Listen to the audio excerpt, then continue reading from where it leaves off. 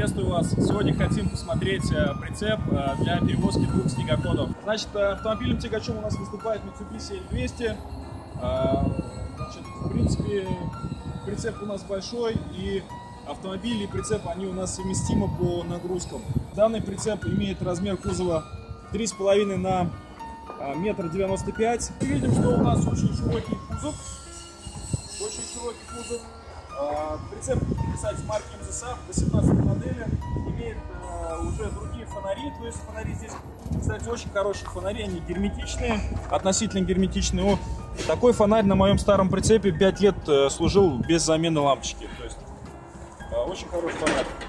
Поскольку прицеп широкий, стоят дополнительные контурные огни, они, значит, позволяют ну, безопасно передвигаться, особенно в темное время суток по дороге. То есть Особенно, когда обгоняете фуры, а, дополнительные контурные огни, они э, показывают, что за вашим тягачом есть прицеп, то есть дальнобойщики видят. Для безопасности очень важно, важно иметь вот такие контурные огни. Э, что здесь еще интересно? Прицеп имеет э, значит, полную массу 750 килограмм, то есть рассчитан для перевозки, то есть для, для эксплуатации с категории B. Открываем, значит, борт. Хотим посмотреть мы, как выглядит прицеп с внутренней части. То есть мой рост метр семьдесят восемь. В принципе, вот спокойно я могу здесь стоять. Вот, еще раз повторяю, кузов здесь три с половиной на метр девяносто пять. С передней части у нас сделан аэродинамический скос, который значит, у нас будет э, экономить топливо на автомобиле. Сделаны дополнительные косынки, чтобы каркас более жесткий был, то есть приваренный каркас здесь цельно сварной с поперечными. А, значит, здесь мы видим на тенте, мы на Евротенте сделали усиление, для того, чтобы, поскольку здесь в этой области тент более сильно берется от кар об каркас, здесь, видите, второй слой тента наложен. Здесь также есть усиление, где тент касается вот этой планки. Так, что тут еще? Ну, снегоходы здесь у нас выгружается. Один снегоход у нас, значит, загоняется передом, другой задом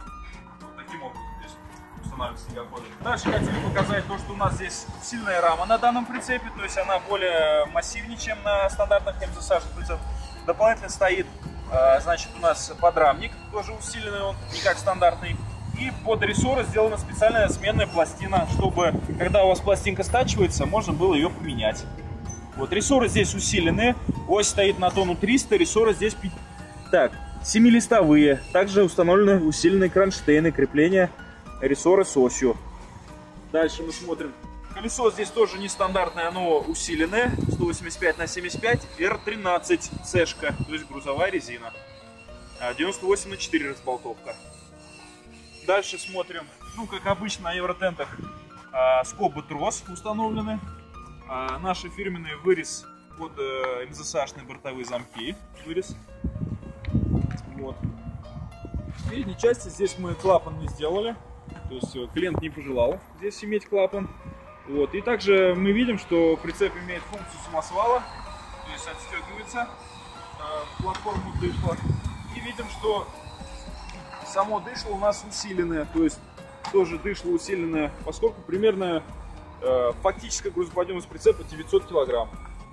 Видим, что стоит усиленный алковский замок. Данный замок у нас имеет максимальную нагрузку на тонну 600, тяговую, тяговую нагрузку на тонну 600. В принципе, все, спасибо, удачи, до свидания.